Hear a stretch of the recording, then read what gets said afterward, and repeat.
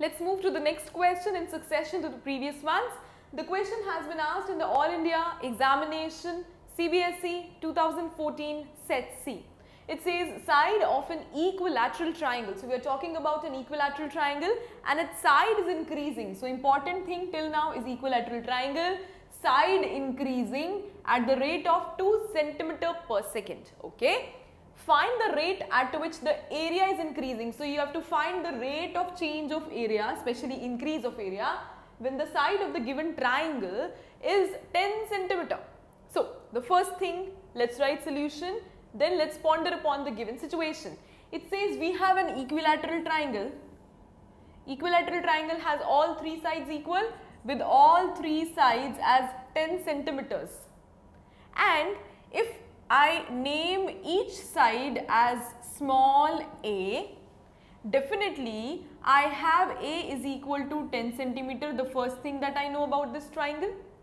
The other thing that side a is equal to 10 centimeter and the rate of change of that side, the rate of increase is dA upon dt and that is equal to 2 centimeter per second. That is given to me. That is very important.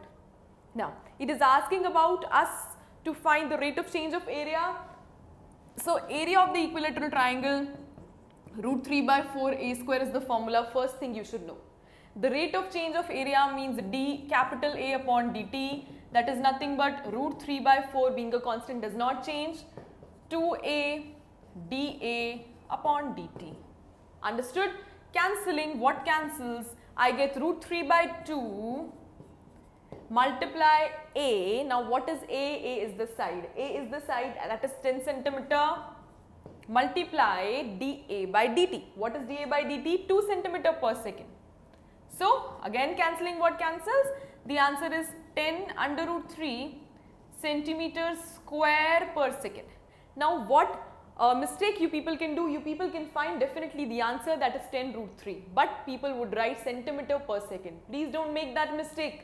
You need to get full marks. dA, A means the area so it has to be square units. That is why this is the answer 10 root 3 centimeter square per second.